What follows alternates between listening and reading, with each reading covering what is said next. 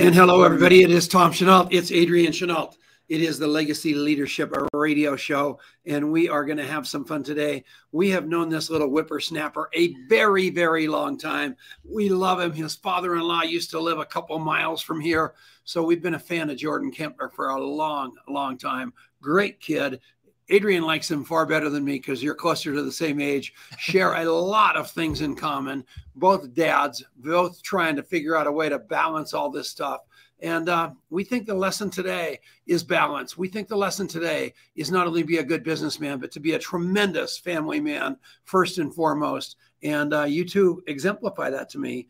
And how you doing? I'm good. I've been looking forward to this conversation, and yeah, it, uh, it certainly is uh, a juggling act. Yeah, hard work. Kids throwing up all the time. Unbelievable. Take it away, baby. It's too too soon, man. Too soon. We we my house is a is a hazmat zone right now. I feel like so it's it's very good to be at the studio to get to hang out with Mr. Mr. Jordan Kemper. So Jordan, how are you today? I'm good. Tom and Adrian, thanks for uh, connecting with me. It's it's a treat to be on with both of you at the same time. Well, you look like you've gotten yourself into a little bit bulkier. Are you lifting weights or something? You kind of were like a little right. string bean when I met you. You were fit, but you weren't all bulked up. What have you been doing? Well, I've got a I've got a gym in the garage. So uh, with the baby uh, waking up around seven eight o'clock, I try to get my workouts in beforehand and uh, trying to stay fit. Well, you look good. that is awesome. I love it. I love it. So Jordan and I, you and I connected good a long time ago. You know, when when you guys first met, I think at a, an Eric Worre event, and instantly, you know, your background having gone to Wheaton College, which is someplace that I had looked at going, didn't it? I, I got went and visited in January, and that disavowed me of that idea because uh, Wheaton's right outside Chicago. That is Illinois. the surface of the moon. it was that was cold. Uh, so I didn't end up going there, but I I love that school, and I I just you know from the get go have admired your values, have admired you know what you stand for and the way you go about building your life and your business. And so you know Jordan, talk a little bit about your background and and how because you were you know highly educated, uh, you know all all of the above, and gravitated towards the network marketing profession from a really young age. How did that come about for you? Yeah, so I don't have that typical story, but uh, I loved growing up in a Midwest town, Rockford. I went to Wheaton College.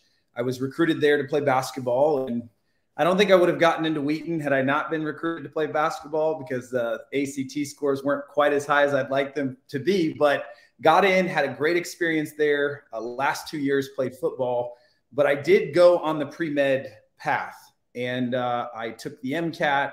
I took all the prerequisites, and I was ready to Western uh, leaving college. And what's interesting is I think like probably many of you that are listening to this, I felt like I kind of started down a path. And because I started down the path, I felt like I had to finish the path. But that's not life, right? I actually, deep in my heart, felt like that wasn't the direction I really wanted to go. So, just to make sure, I interned about 200 hours with four medical groups most of the doctors that I spent time with told me, Jordan, if I could go back in time, I'd do something different. And I thought, well, gee, I wish somebody would have for organic chemistry. Um, but here we were, and I met a doctor, and he happened to be a part of the network marketing profession. And you know, my mom had been a part of a skincare company. She'd sold Tupperware and Pampered Chef, and she'd tried different brands, and I'd I'd never seen it done successfully but I thought if a doctor was doing it, I'll sit down and listen to him. And that was the beginning of my network marketing experience. I, I went to coffee with him. I spent 13 years uh, with that company building a successful organization. I spent one year uh, building a startup company, and then we transitioned to a, another company these past two years. So, over my 16 year career, I've been with a a dinosaur company, I've been with a startup company, and then I've been with a company that kind of meets in the middle. And so network marketing has always been a part of my life, uh, I should say, from an entrepreneurial side. And then because of network marketing, um, it opened my eyes to multiple streams of income. So, really, over probably the last seven, eight years, I've also started adding different income streams. But network marketing, nonetheless, has always been a part of my uh, of my professional focus. And how old are you? Like 12? Uh, how old I are you? started, I started at 22. I'm 38 now. So you're his age. When's your birthday? Uh, August 30th, uh, You guys 1984. are like close. Yeah. Wow. Yeah, I'm, I'm October. You got a couple months on me, Jordan. We could we Yep. would have been classmates at Wheaton. That's actually you really been, weird. yeah, I, you would have been. I had not put that together. We would have been the same year. That's crazy. So Yeah. Adrian got full ride scholarship offers to Pepperdine Wheaton in this dumpy little college down in Texas named Trinity. And I definitely didn't want him to go to Wheaton. That was horrible. I wanted him to go to Pepperdine, and he chose the dumpy little college down in Texas called Trinity. And it was the best decision. He learned to think. He was 100% right in that choice. And uh, just like you at Wheaton. And the Chamber of Commerce had here to the, in Longmont, Colorado, went to Bob Jones, which is even tougher. And I'm going, you know, so every time I see him, I just tip my hat to him because I'm telling you what, you get an education in those joints and you just better toe the line or you're off the line. So I'm in awe of you, Jordan Kemper. I love you. How's your father in law? Bob's good. In fact, he's here at the house hanging out with our three year old right now. So, All uh, right, good. Tell him we well. miss him here in Longmont, Colorado. Will you please? Yep, I sure will. All right. That's too funny. How cool. So okay, so so you're you're down this sort of pre-med track. First of all, kudos to you because I, you know, so often people give you advice like that and you still can't hear it and you you know you insist on going and learning the hard way instead of taking good counsel. And so it's cool that you did that. What did your parents think though? I mean, like that's a pretty big departure from medical physician to network marketer. Like, hey, mom and dad, I've had a change of career aspirations. Like, how did that go? You know, my dad was actually a general contractor. And part of the reason he chose to go into that space was because he wanted to be in business for himself. He wanted to control his hours. He wanted to determine what he was and wasn't worth. He wanted to set the hours in which he would work and the hours he'd be around for his family. And so my parents always supported me. They knew I was a hard worker. They knew that I always gave my best effort. And so they knew that if I was going to go a different path, they knew that I would be successful at whatever I put my heart into. So I was extremely fortunate that I had parents that supported uh, my decision and uh, they applauded me and tried to help me as much as I could when I kind of, uh, I guess you could say, changed paths. Yeah, that's really cool. And so you got into you got into this this company that you spent the you know the early part a significant part of your network marketing career and experience with up until this point. You had a lot of success there. You know what as a kid coming out of college getting exposed to this like what were some of the important lessons that you learned early on that allowed you to to be one of the the top people in the company that you were with and, and have a lot of success there? Yeah. You know, it's interesting when I think about network marketing. Um, a lot of people call it a disguise for personal development. And early, I didn't know what that meant. Um, I went to Wheaton. I took all of the necessary classes. I took all the gen eds. I took all of the science class. I did everything I was told to do. But what was interesting was I felt like most of what I learned in college didn't translate to the real world. Nobody taught me about residual income. Nobody taught me about taxes. Nobody taught me about social media or people skills. I felt like no one really gave me what I needed. Uh, college taught me how to manage my time. College taught me how to work hard. College taught me how to become independent. College taught me how to network. So there were massive benefits to my time at Wheaton. But I felt like when I stepped into network marketing, uh, it's a 1099 situation where you're only paid if you produce. And so I walked into a situation where if I didn't uh, make sales, if I didn't move products, there was no commission for me. There was no opportunity for me to, to pay my bills.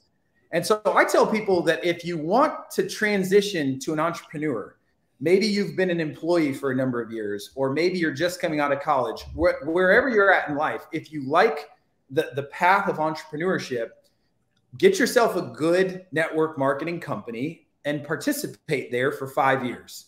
And what those five years will teach you is how to deal with rejection, how to overcome adversity, how to have the ups and the downs that comes with business, how to learn marketing, how to learn uh, accounting, how to how to minimize your tax liability. All the things that you learn when you become an entrepreneur.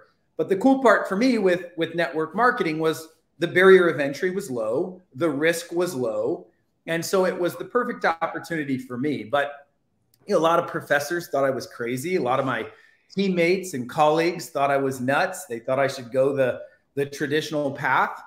And it wasn't really till a few years in that my friends were like, okay, maybe he did make the right decision. Maybe this yeah. was the best path for him. Where'd you find the girl? So I met my wife on Twitter. on, on Twitter. Twitter. All right, good. Adrian thought that where was all, pre- where Adrian, all good love stories begin. Wow, and Adrian thought that was a terrible question, by the way. No, no, that's that's no joke. I uh, I went on a horrible date with a girl in Indianapolis. And uh, if I told you that story, I don't think people believe it. But nonetheless, that girl retweeted something from Kristen Rocco. And I thought, man, this girl's beautiful. She had some quotes and tweets and things that just kind of, I don't know, popped off the page. And so I started following her on Twitter, then Instagram, then Facebook. And uh, I was in the business of sales, so I wasn't afraid of follow up or rejection. So I just kind of started to pursue her. Eventually got her phone number, asked her if I could give her a call. She thought that was a bit strange because she was used to texting, and one conversation led to the next. And now we've been married almost eight years. She's a heck of a girl. That's cool. She is. That's really that's an amazing story. Thank you. And yeah, whatever. Uh, what are the? Uh, that's amazing. that the bad the bad date retweeted the future wife, and uh, the rest is history. That's right. Now, did she live in Longmont, Colorado at that point? No, she actually grew up in Tampa, Florida, where, where we live now. All right, darn it. that would have even been the icing on the cake. Good Longmont, Longmont girl makes good, but no deal. Unbelievable. Good. That is super, super cool. Uh, I, I love it, and and you you have a beautiful. You said almost three year old now. Is that right? Well, she's three and a half. Yeah, she's almost three and a half. four. Yeah. Oh man, so exciting. That is there's there's nothing better than that. and so in a second, we're gonna take a quick break here. Uh, on the other side, we definitely should get into fatherhood and and what it's like as you continue to build some build big things and and do it while honoring being a dad and being a husband and all that kind of stuff because it is it's so so important. Uh, this is this is my kind of stuff. This is super cool and i'm i'm just so tickled that we're like basically the same age. That's pretty cool. So you're listening to the legacy leadership show with adrian chenault and tom chenault. We are talking to jordan kemper entrepreneur extraordinaire and we'll be back right after this. Stick around all right. Awesome. This What's going on, Sean Miller? Thank you for all your great posts about us. Doug Stare, you tagging machine. Denise Chenault is running up a mountain, not walking, running up straight up a mountain called Mount Sanitas oh, in Boulder. Cool. And that's Dang, what she's that's doing. No, that's no joke. Last week I said she was walking and she took great offense. So I have to clarify Sprinting. That. Sprinting up the mountain. so we're coming back right now. And we're back. It is the Legacy Leadership Radio Show with Tom Chenault, Jordan Kemper, and his little boy, Adrian. And we are having a tremendous time. Adrian wanted to go down one path, but I'm taking it down another. That's all right. So here's the deal Jordan, all of a sudden, he's just bigger than life in this company. And all I hear about is how much of a rock star he is. And all of a sudden, I'm just getting hammered by Amazon sales.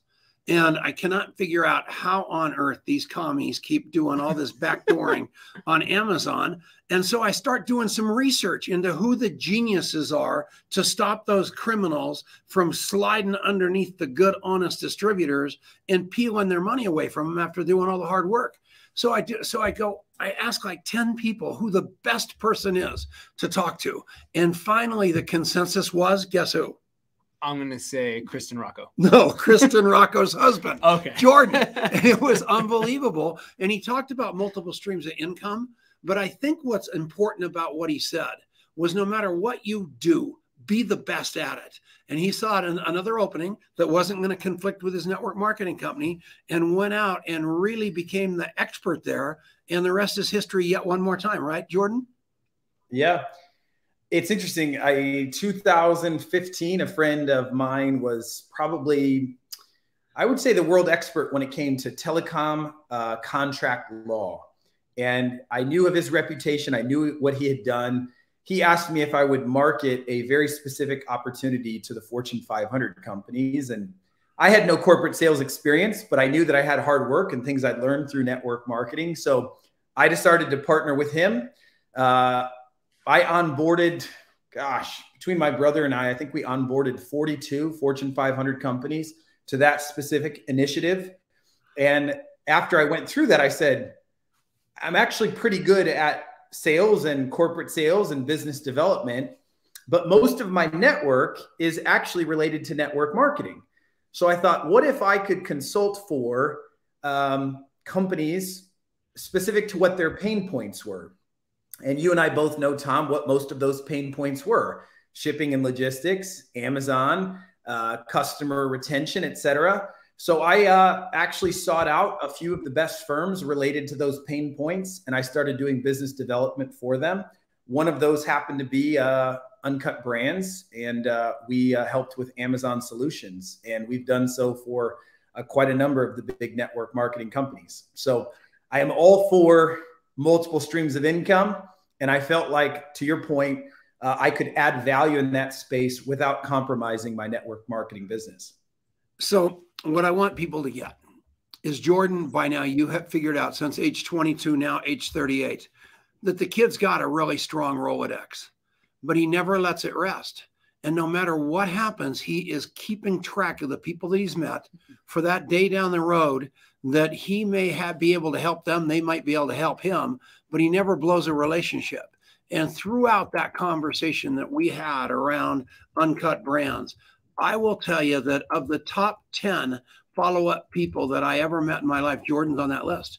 And that's a huge tribute to me because I am absolutely monomaniacal about it, opinionated about it, and pretty pissed off about most of the people that are supposedly pretty good at it that suck. So you aren't. And I love you very, very much for that. It is very compliment. Yeah, it was. I promise that, it was. That it for sure is, and and it's true, and it's so powerful, and and you know, a lot of people get intimidated by the thought of going and selling into the Fortune 500, for example, and you've done that. You've done the network marketing thing, and I'm curious. Do you like? is it a situation where people are just people or is it a completely different world like what have you learned from spanning that wide range of organizations and people that you've worked with yeah you know kiyosaki says that your your network is your net worth again i didn't really understand i didn't understand that when i read it originally now i understand it and uh, i would say that if you're if you're trying to figure out what skills are most important to develop. There's a reason that Dale Carnegie's How to Win Friends and Influence People has sold more than 70 million copies. I truly believe that no matter what business you choose, it's going to involve people. And so the better people skills you can develop, the more successful you will be at whatever profession you elect to choose. And I've seen real estate agents, insurance agents, business owners, network marketers, you name it the people that have the best people skills are the ones that see the most success. And people skills are always something that we can develop. There's something that we can improve. And so as I, I mean, if I pulled out my cell phone right now, I mean, I've got 6,000 contacts in my phone where I could send a text, a voice note, or a quick phone call, and that person would pick up the phone. And that's because I've spent years developing relationships that matter, that mean the world to me. And whether or not I engage that person in an opportunity where we can financially benefit from one another or not doesn't matter to me. My goal is how can I add value to my network? How can I add value to others? And by doing so, it creates an enormous amount of financial opportunities, which I've been able to participate in. Best short break in the history of this show. We'll be right back. True story. That was so. You that was so crushed good. it. I am the hero. So I am the hero. Oh my god, unbelievable! yeah, he's right on the money. You you guys, please stop. Throw your agenda out the window. Map everybody. Remember things. Put them in a rotation and remember. And at the end of the day, you are going to have a picture of me in your wallet right alongside Jordan. We're back right now. And welcome back. It's Tom Chenault. It's Adrian Chenault. It is the Legacy Leadership Radio Show on the Genesis Communication Network.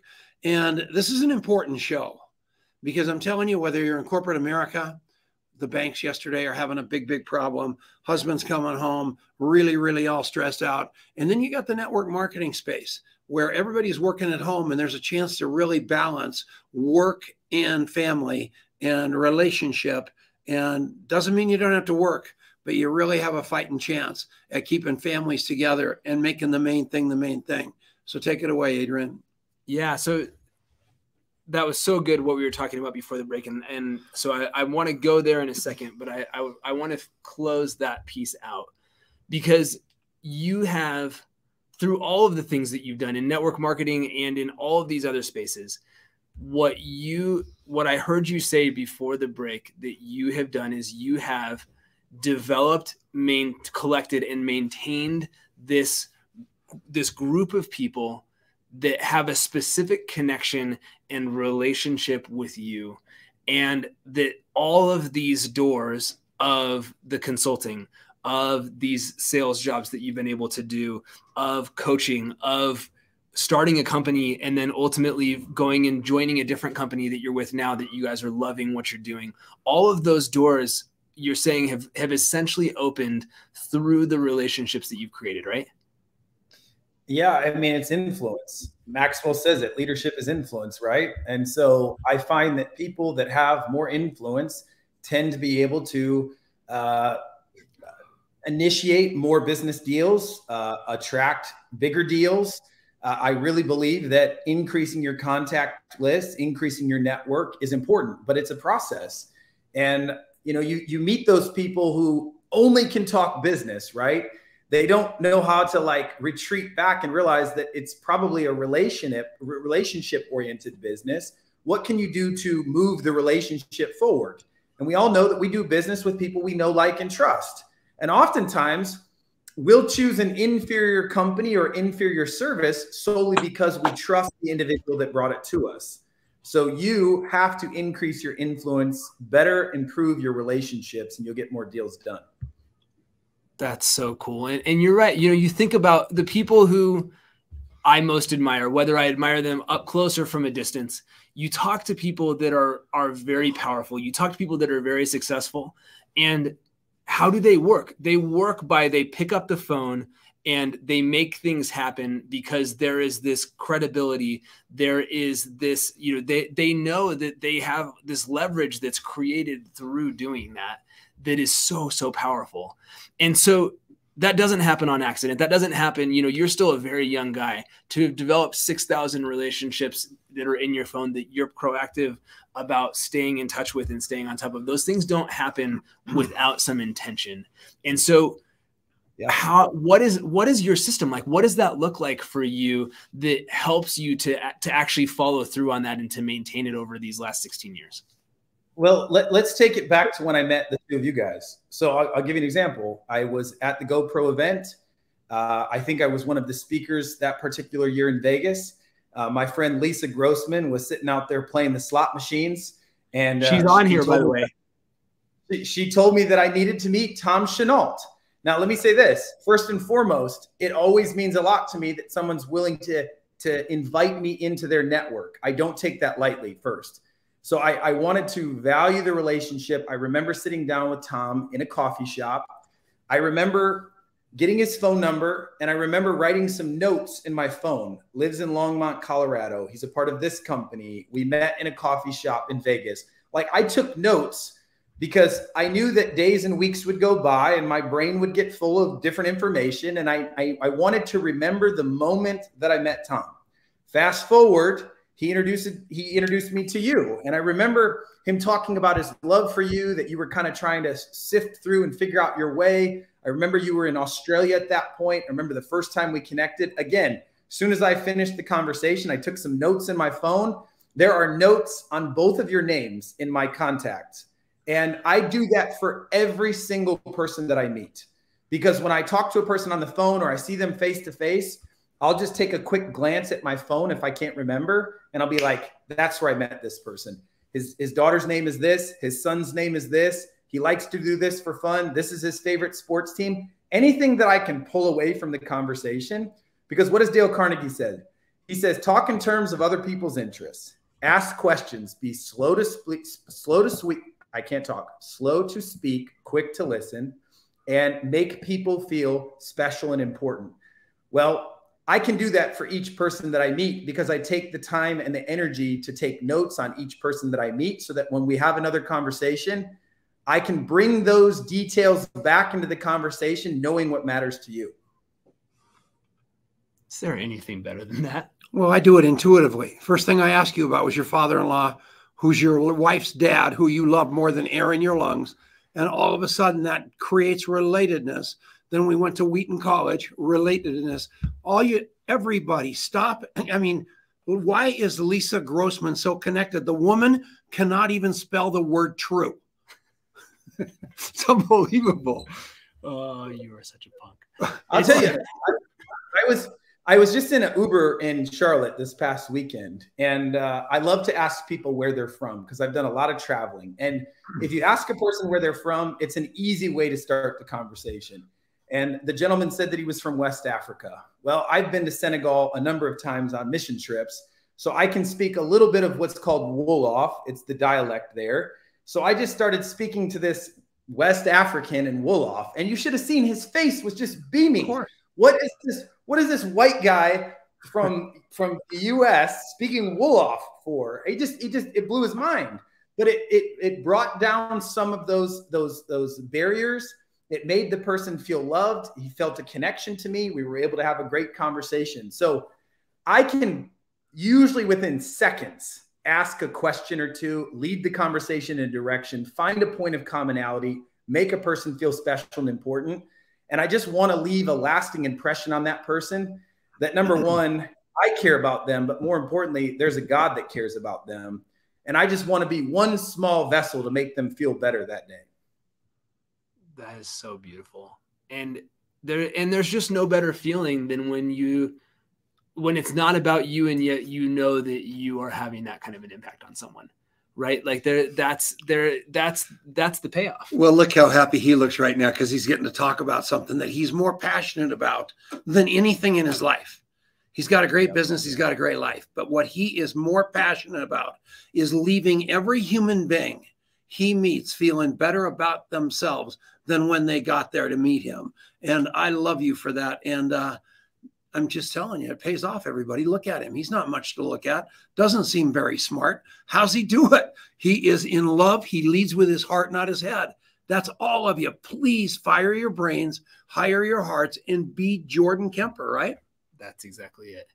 So let's talk about what you have transitioned in the last couple years because you you've gone through some huge life changes. You got married, you you left the company that you were with for the first 12 13 years.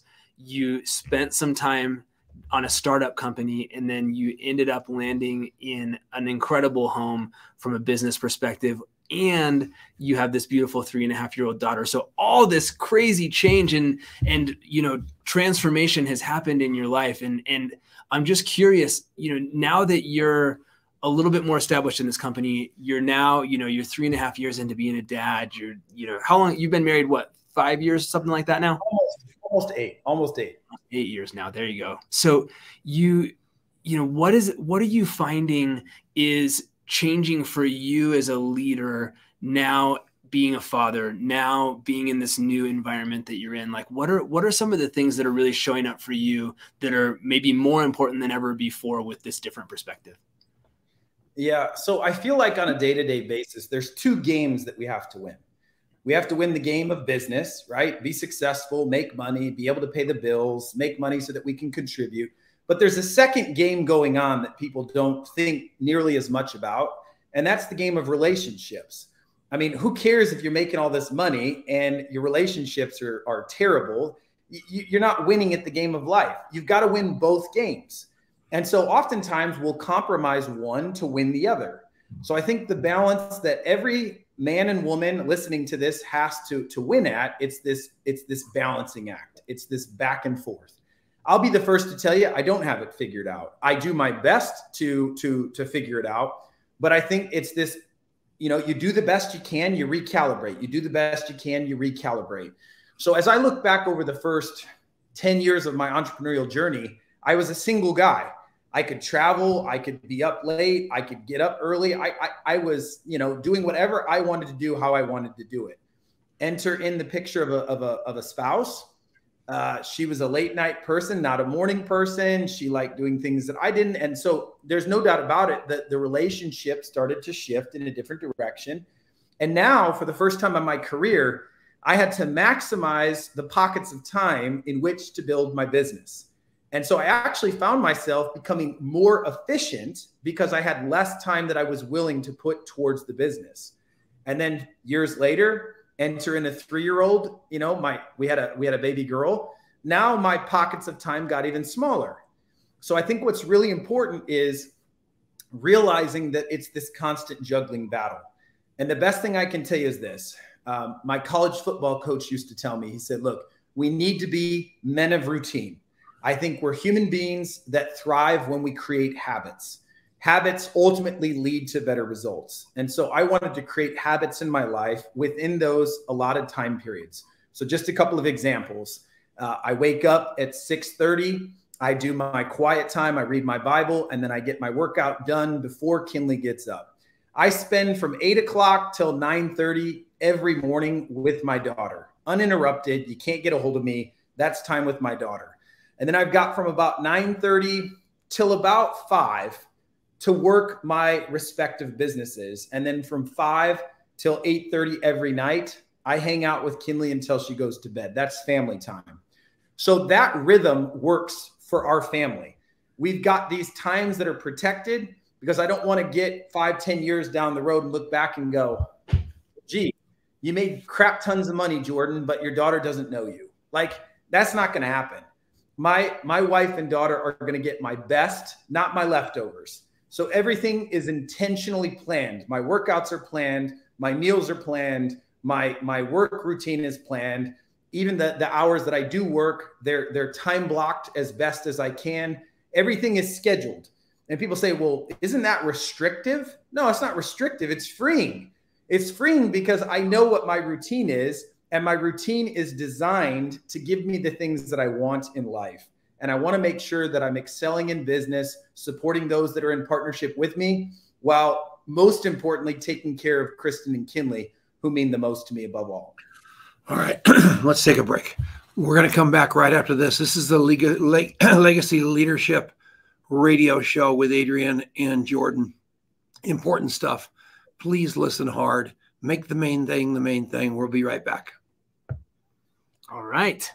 Pretty cool show. Going by very fast. It is a very good show. Hello, Hello. Alex Eaton. Hello, Christina Zaharia. Denise is just the best. So is Elizabeth. Anand is watching from Mumbai, India. I don't even I can't do that much math. So you can tell me what time it is there, but that's amazing. Jordan Adler, holy moly. He's saying no wonder he's watching. He's got eight feet of snow coming in at him. That's unbelievable. Well, and he's you know, it's Jordan stick Jordan's got to stick together, man. Yep. Okay. Legend. And we are back. It's Tom Chenault, Adrian Chenault, final segment with Jordan Kemper.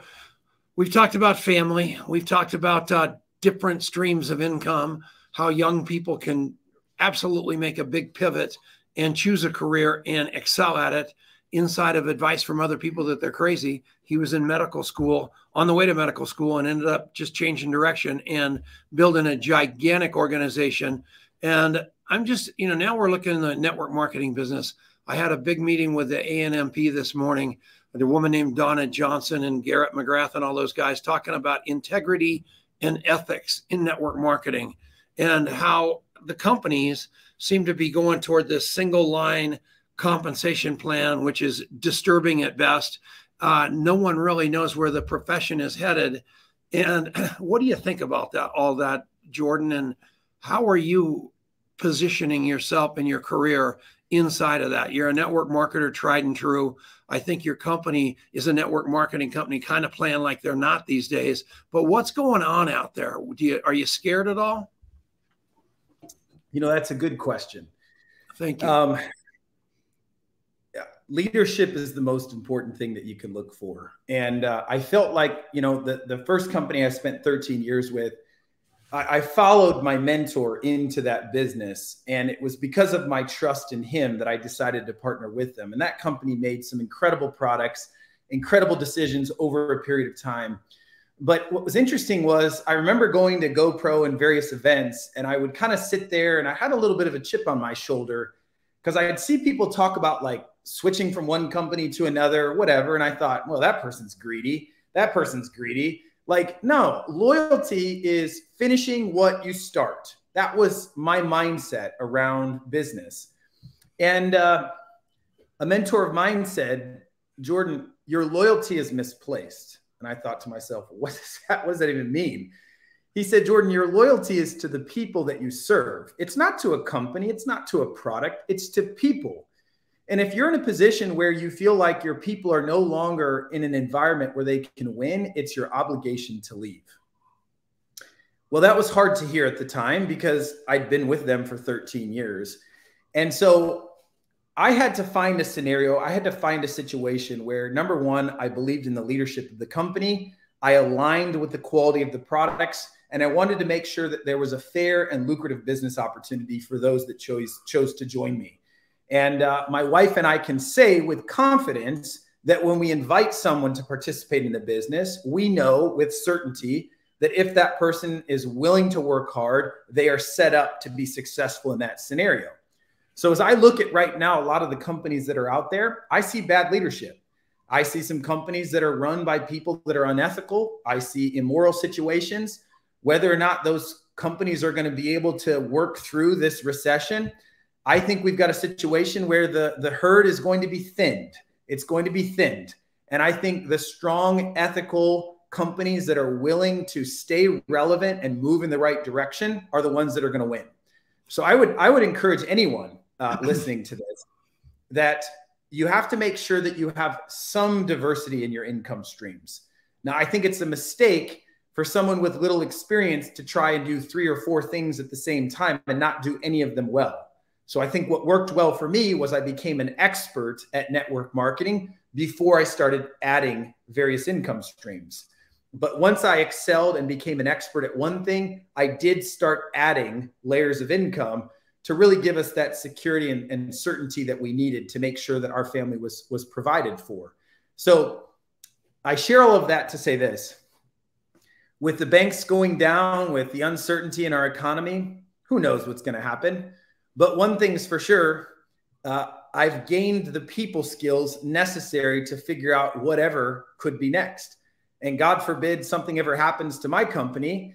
Uh, you can't take my skills, you can't take my personal development, you can't take my personal education away from me. Those skills could be applied to a new scenario. And that's why I think the most important investment anyone can make is the investment in themselves. When you invest in yourself, you create a situation where you can add value to others.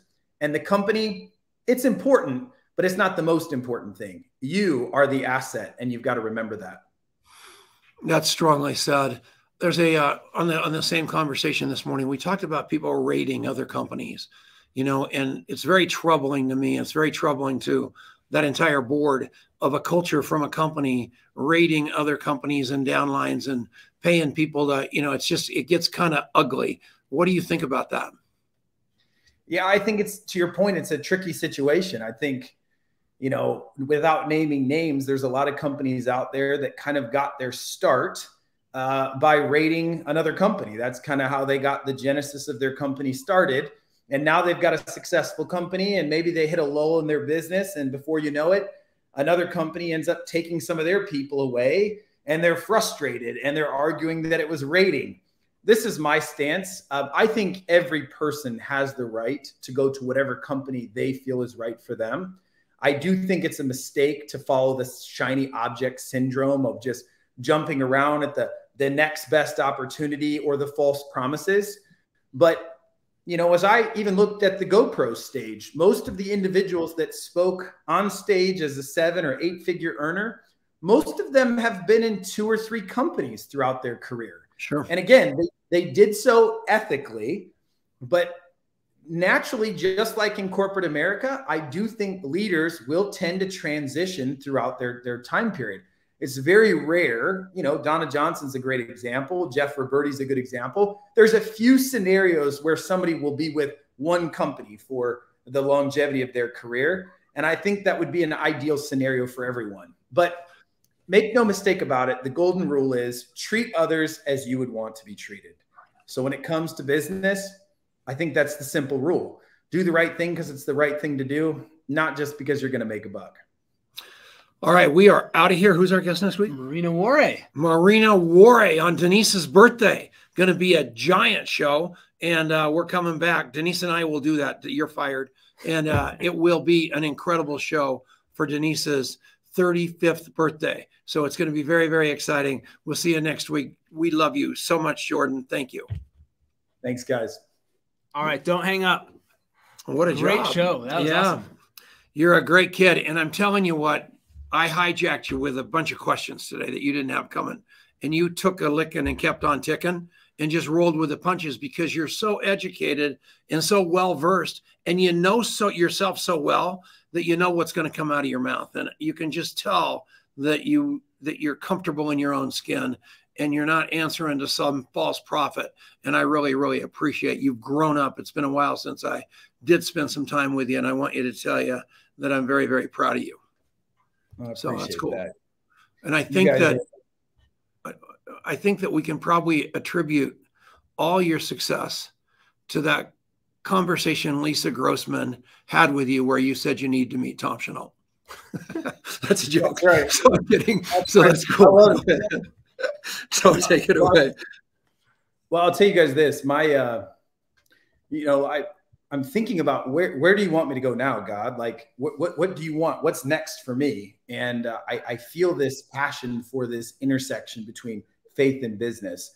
And I'm not quite sure what that's going to look like, but I want to teach people to excel at business. I want to teach them to do it exceptionally well with integrity. But I don't know. I, I have this just this heartbeat for faith. And I feel like our world right now is temperamental. People are quick to take offense. Uh, they're they're they're racially and and politically and economically charged and so i just feel in my heart that like faith is the one thing that people really need the most but i think rather than it just coming from a pastor or a minister if they can hear it from somebody that does what they do and is in the trenches of the marketplace day in and day out it's just going to be falling on a different set of ears so I'm I'm I'm I'm kind of trying to figure out what that looks like, but I know that I'm I'm passionate and I'll figure it out. So just want to Uh, say thanks to you guys. Yeah, th- thank you, and and you know I I can feel your heart, and you know I- think doing uh, my my encouragement and and where I'd love to you know play in that sandbox with you is you know how do we do that in a way that isn't you know I, I've seen there's there's been a little bit of this kind of thing going on I've noticed the last month two months where suddenly maybe talking a certain game is it, from a faith perspective is almost kind of the cool thing to do all of a sudden. And it's funny how quickly it sort of the pendulum swung that way and what i want to do is to meet people where they are wherever they are on that faith journey and and not to have it be that okay well now there's this new code language that you're supposed to speak to be in the cool club. And i know that's how you are too that it's it isn't about that. It's really about like how do you how like what does a life well lived look like? What is a life living in faith really look like? And how do we how do we make that something that we can invite anybody to be a part of regardless of what their background is regardless of if they know all the jargon or whatever that is and so you know i think that's a that's a really important thing to to live out and and to to figure out how we do together and so i i'd love and i can feel your passion for that Well, hell with that. I do not believe anybody should be successful in any way, shape, or form unless they're part of Alcoholics Anonymous. That's kind of what that is. No, that isn't where you go. You go, you you, you know, you got to love like crazy, then love more. And I might not be right where all of you want me. I am pretty sure you're not, and I'm not, and that's okay with me because where Yeah. I am not is not where you want me to be, probably but I'm exactly where God's got me, and that's all that matters. And Yep. I may drink the Kool Aid about this or that one of these days, or I may not. but I am firmly convinced that there's something bigger than Tom Chenault running this show. And I just acquiesce all my will to that and uh, to a God of my understanding. And it's worked out yeah. pretty doggone well. And I hope you all feel the same way. And uh, pretty fun stuff, huh, Paco? Really, really fun. Don't Jordan, thank you so much. Say hello to Kristen from us. And we just love love what you're doing and what you stand for. So thank you so much. And you guys could come back to Longmont and see the old homestead with Bob and the family and see us, will you please? Yeah, when it gets hot in Florida, we'll uh, we'll come visit Colorado. All right. All there right. you go. You guys got it. Right. Love you. Thank you. Guys.